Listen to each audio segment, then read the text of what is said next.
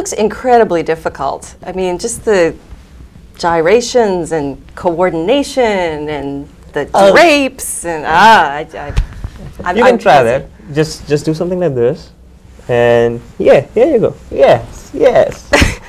That's, that's like doing the pageant wave, though. It is the kind of. wave. oh yeah, she is a dancer. So, and then you want to be on this show, just call Sal, and you can be on Sal's show on the number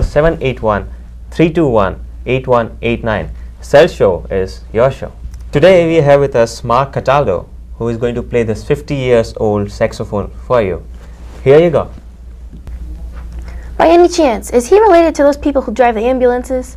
Oh yeah, it's the same Cataldo ambulance. Huh? You got it right. Very good. Let's take a listen. Hello and welcome to Sal's Show. I'm Barry Greenspan and I'm here with Mark Cataldo. Mark. Welcome to Sal's Show. Now, Mark, you are a saxophone player. Now, Yes. are you an amateur or are you a professional? Professional. Professional. Now, do you do only solo projects or are you part of a band as well? Um, I'm uh, I'm part of a band and I do solo projects as well. I uh, the band's name is Pulse. We uh, we do local gigs around the Boston area. Um, we've performed at the Porthole in Lynn. We performed at the Times in Boston. We did St. Rocco's Feast here last year, and uh, you know a few other places as well. We have a gig at Maddie's coming up. Maddie's is where? Uh, it's August. August. Yep. Now, this is a tenor saxophone. Tenor saxophone, yes. And is this the only saxophone you play or? Um, I play others, but uh, there is uh, this is my this is my main horn. It's my favorite. I like the I like the uh, the range of it, the sound, and I think it's the, the best overall saxophone there is for me. For the benefit of the viewers who are not as familiar with the saxophone as you are, being a Right. professional musician, how many different types are there? Well, there there are four common types. There are um, soprano saxophone, alto saxophone, tenor saxophone, and baritone saxophone. But there are also two other types that you don't commonly hear about, which are the bass saxophone and the contrabass saxophone. The contrabass saxophone is seven feet tall, and you have to stand on a chair to play it. they use them in symphony orchestras, things like that. So not exactly in the marching band. right, exactly. Now, were you a member of the uh, marching band? I was for two years. in your high school. Yep. And you went to. Uh, Malden High. Malden High, as yeah, I. lived in Malden my whole life. Good to hear. Yep.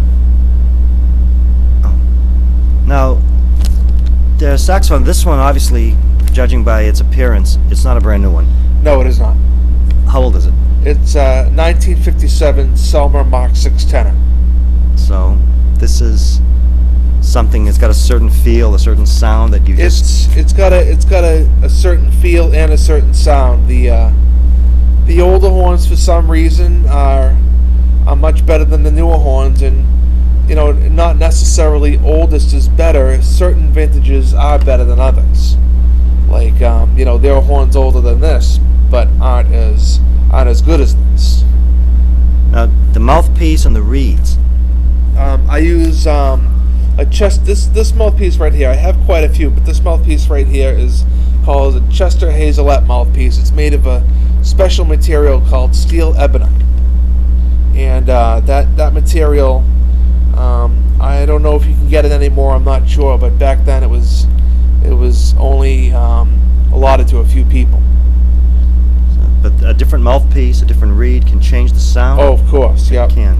It, there's a lot of different things that could change the sound. Even changing the neck of the saxophone can change the sound. One, two, three, four.